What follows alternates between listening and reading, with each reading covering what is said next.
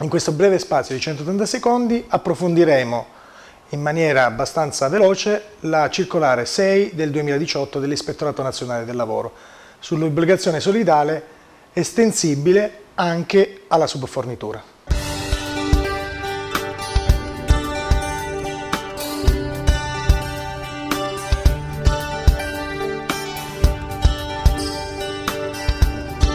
A seguito di una sentenza della Corte Costituzionale, l'Ispettorato Nazionale del Lavoro ha diramato una circolare, una nuova circolare, numero 6 del 2018, dove affronta in maniera abbastanza sintetica le problematiche connesse all'interpretazione della sentenza della Corte Costituzionale. Stiamo parlando della sentenza 254-2017. In questa sentenza, costituzionalmente orientata,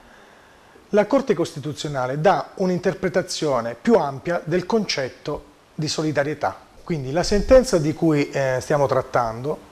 sostanzialmente è andata a ehm, dare appunto, come abbiamo detto, un giudizio eh, costituzionalmente orientato rispetto all'interpretazione dell'articolo 29,2 del decreto legislativo 276 del 2003. In particolare il decreto legislativo all'articolo 29 coinvolge solidarmente appaltatore e tutti gli eventuali subappaltatori per quanto riguarda gli obblighi retributivi, contributivi e assicurativi del personale coinvolto nell'appalto, nel limite dei due anni, nel limite temporale dei due anni,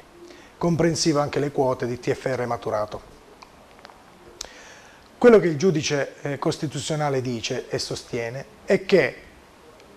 rispetto agli articoli 3 e 36 della Costituzione, il circoscrivere l'obbligazione solidale solo all'appalto o al subappalto potrebbe essere limitativo e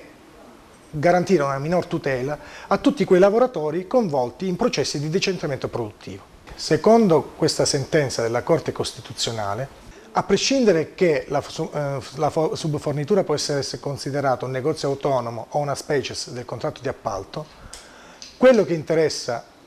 o che deve interessare è che la tutela deve essere estesa anche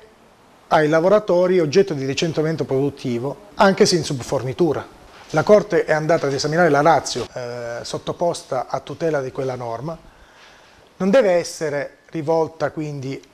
al negozio, ma deve essere rivolta alla tutela dei diritti di quei lavoratori oggetto di un decentramento produttivo e che quindi devono essere tra virgolette, garantiti e solidalmente tutelati da un punto di vista retributivo, contributivo e assicurativo nel limite dei due anni. Inoltre, sempre seguendo l'interpretazione della Corte, così come ribadito nella circolare dell'Ispettorato Nazionale del Lavoro, questa tutela deve spiegare i suoi effetti anche nei confronti del distacco disciplinato all'articolo 30 dello stesso decreto legislativo 276 del 2003 e nei confronti del cosiddetto distacco transnazionale tra società estera distaccante e società italiana distaccataria.